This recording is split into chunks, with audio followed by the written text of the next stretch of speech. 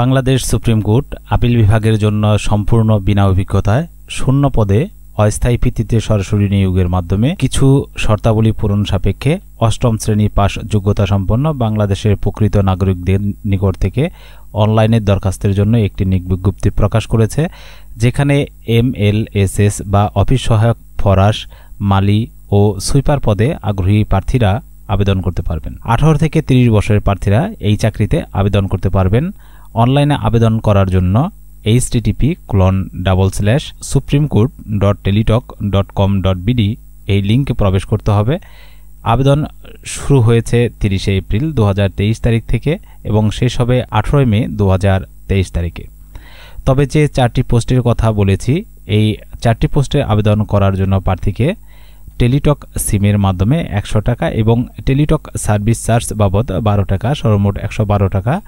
অন্যদিক বাহাত্তর ঘণ্টার মধ্যে, অর্থাৎ আবেদন করার বাহাত্তর ঘণ্টার মধ্যে টেলিটক প্রিপেড সিমের মাধ্যমে কিন্তু পরিশোধ করতে হবে। এখন আমি দেখাবো যে এই চাকরিতে কীভাবে আপনি টেলিটক জব ওয়েব পোর্টালের মাধ্যমে আবেদন করতে পারেন। আবেদনে যাওয়ার আগে আপনাদের কাছে একটা বিনীত রিকোয়েস্ট, যদি আপনি এই চ্যানেলে নতুন হয়ে থাকেন, তাহলে অবশ্যই এই চ্যানেলটিকে সাবস্ক্রাইব করে রাখবেন এবং ফেসবুক পেজ থেকে এই ভিডিওটি দেখে থাকলে অবশ্যই এই ফেসবুক পেজটিকে ফলো করে রাখবেন। ভিডিওটি যদি ভালো লেগে থাকে, অবশ্যই ভিডিওটিতে একটি লাইক এবং কমেন্টস করতে ভুলবেন না। তো আসুন শুরু করা যাক। তো শুরু করার জন্য প্রথমে যে কোনো ব্রাউজারের ইউআরএল বক্সের লিঙ্কটি লিখতে হবে, অর্থাৎ HTTP colon double slash supreme court dot Teletalk dot com dot BD লেখাটি লেখার পরে কিবোর্ড থেকে এন্টার চাপতে হবে, তাহলে আমরা কাঙ্ক্ষিত ওয়েব পেজটিতে চলে যেতে পারব। দেখুন এখানে আপিল ডিভিশন সার্কুলারটি আমরা দেখতে পারব এবং সার্কুলারের যে তারিখ আছে অর্থাৎ যে তারিখে প্রকাশিত হয়েছে, সেটিও কিন্তু আমরা দেখতে পাচ্ছি লিঙ্কটিতে ক্লিক করব, এরকম একটি পেজে নিয়ে যাবে।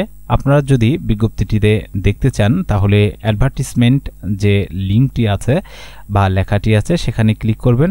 আর যদি সরাসরি অ্যাপ্লিকেশন ফর্মটিতে প্রবেশ করতে চান, তাহলে অ্যাপ্লিকেশন ফর্ম যে লেখা রয়েছে, সেখানে ক্লিক করতে হবে। ক্লিক করার পর এখানে চারটি পোস্টেরই নাম দেখতে পাবেন। যে পোস্টে আবেদন করতে চান, সেই পোস্টের বামে রেডিও আইকন রয়েছে। সেখানে ক্লিক করবেন। ক্লিক করার পর নিচে ডান পাশে নেক্সট বাটনটি শো করবে এবং নেক্সট বাটনে ক্লিক করবেন। ক্লিক করার পর কাঙ্ক্ষিত ফর্মটি চলে আসবে। সার্টিফিকেট অনুসারে এই ফর্মটি পূরণ করতে হবে। ফর্মের প্রথমেই অ্যাপ্লিক্যান্টস এর নাম লিখতে হবে। তো আমরা সার্টিফিকেট অনুসারে আবেদনকারীর নাম এখানে লিখে দেব। তারপরে পিতার নাম এখানে সার্টিফিকেট অনুসারে লিখে দেব। মায়ের নাম সার্টিফিকেট অনুসারে ইংরেজিতে লিখে দেব। তারপর আপনার জন্ম তারিখ, এখানে লিখতে হবে সার্টিফিকেট অনুসারে।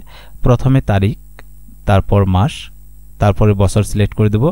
দেখুন যে, নিচে জেন্ডার রয়েছে। আপনি যদি মেল হয়ে থাকেন সেখানে তাহলে মেল রেডিও বাটনটি সিলেক্ট করে দেবেন। আর যদি ফিমেল হয়ে থাকেন, তাহলে ফিমেল রেডিও বাটনটি সিলেক্ট করে দিন। পাশেই মুক্তিযোদ্ধা কোটা রয়েছে ফ্রিডম ফাইটার স্ট্যাটাস যদি আপনি মুক্তিযোদ্ধার পুত্রকন্যা অথবা পুত্রকন্যার পুত্রকন্যা থাকেন, সেগুলো কিন্তু সিলেক্ট করে দিবেন। আর যদি না থাকে, সেক্ষেত্রে কিন্তু নন ফ্রিডম ফাইটার সিলেক্ট করে দিতে হবে। তার নিচেই দেখুন যে ফিজিক্যাল চ্যালেঞ্জ রয়েছে। যদি আপনি প্রতিবন্ধী হয়ে থাকেন, সেক্ষেত্রে ইয়েস অন্যথায় নো দিয়ে দিবেন।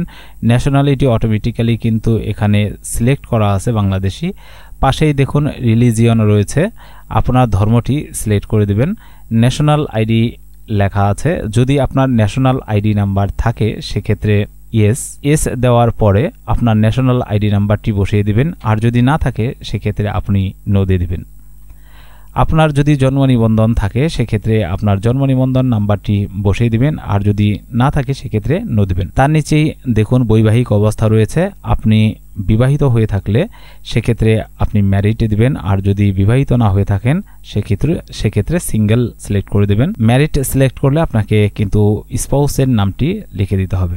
নিচে দেখুন যে মেইলিং বা প্রেজেন্ট অ্যাড্রেস এবং পারমানেন্ট অ্যাড্রেস সেকশন রয়েছে, সেখানে কিন্তু ঘরগুলো পরিপূর্ণভাবে ফিল করে দিতে হবে। তবে বর্তমান ও স্থায়ী ঠিকানা যদি একই থাকে, সেক্ষেত্রে আপনি এই চেক মার্ক করে দিবেন প্রেজেন্ট অ্যাড্রেস যা লিখেছেন তা হুবহু কিন্তু এখানে সেট হয়ে যাবে। আর যে পারমানেন্ট অ্যাড্রেস আলাদা হয়ে থাকে, সেক্ষেত্রে কিন্তু আপনার অ্যাড্রেসটি আলাদা লিখে দিতে হবে। দেখুন মোবাইল নাম্বার ঘর রয়েছে। এই মোবাইল নাম্বারের ঘরে আপনার একটি সচল মোবাইল নাম্বার দিতে হবে এবং কনফার্ম মোবাইল নাম্বার দিতে হবে। যদি আপনার ইমেইল অ্যাড্রেস থাকে, তাহলে ইমেইল অ্যাড্রেস বসিয়ে দিবেন। এখানে শিক্ষাগত যোগ্যতা রয়েছে। আপনি যে পোস্টে আবেদন করছেন, সেই পোস্টের জন্য কি কি শিক্ষাগত যোগ্যতা চেয়েছে, সেই মোতাবেক কিন্তু আপনার এই ঘরগুলো পূরণ করে দিতে হবে। আমি যে পোস্টটিতে আবেদন করছি, তা ক্লাস এইট বা অষ্টম শ্রেণি পাস শিক্ষাগত যোগ্যতা চেয়েছে। এর জন্য আমি এখানে অষ্টম শ্রেণি পাস শিক্ষাগত যোগ্যতা বসিয়ে দেব। দেখুন, এখানে এক্সামিনেশন রয়েছে। এখানে ক্লাস এইট সিলেক্ট করে দেব। বোর্ডের এখানে নাম সিলেক্ট করে দেব। রোল নাম্বার ঘরে রোল নাম্বার বসিয়ে দেব। রেজাল্ট সিলেক্ট করে দেব এবং গ্রুপের এখানে জেনারেল ক্লাস এইট সিলেক্ট করে দেব এবং পাসিং ইয়ার অর্থাৎ প্রার্থীর যে সালে পাশ করেছে, সেই পাশের বছর সিলেক্ট করে দিতে হবে। এই পোস্টের জন্য অন্যান্য কোনো যোগ্যতা চাওয়া হয় নাই এই বিজ্ঞপ্তিতে। স্কল করে নিচে চলে আসব। ভ্যালিডেশন যে কোড রয়েছে, এ ঘরে হুবহু টাইপ করে দেব এবং নিচে দেখুন যে একটি চেক্স বক্স রয়েছে, যেখানে আপনার সকল তথ্য সঠিক আছে কিনা সেটা কনফার্মেশনের জন্য এই বক্সটিতে কিন্তু সিলেক্ট করে দিতে হবে। সিলেক্ট করার পর দেখুন যে নেক্সট বাটনটি কিন্তু অ্যাক্টিভ হয়ে গেছে। আপনার সকল তথ্য যদি সঠিক থাকে, সেক্ষেত্রে আপনি কিন্তু নেক্সট বাটনটিতে ক্লিক করতে পারেন। নেক্সট বাটনটি ক্লিক করার পর একটি প্রিভিউ পাবেন। সকল তথ্য যদি ঠিক থাকে, তাহলে আপনার সেটি কারেকশন করার প্রয়োজন নেই। আর যদি কোনো কারেকশনের দরকার হয়, অথবা আপনার আবেদনের যদি কোনো প্রকার ভুল থাকে, তাহলে আপনি কিন্তু এই যে click here to edit the application এখানে ক্লিক করতে হবে। সকল কিছু ঠিক থাকলে ছবি এবং স্বাক্ষর আপলোড করতে হবে। এইখানে কিন্তু ছবির সাইজ দেওয়া আছে, ছবির জন্য তিনশো পিক্সেল বাই তিনশো পিক্সেল আর স্বাক্ষরের জন্য তিনশো পিক্সেল বাই আশি পিক্সেল তো আবেদন করার পূর্বে আমাদের কিন্তু এই ছবি এবং স্বাক্ষর সাইজ করে নিতে হবে।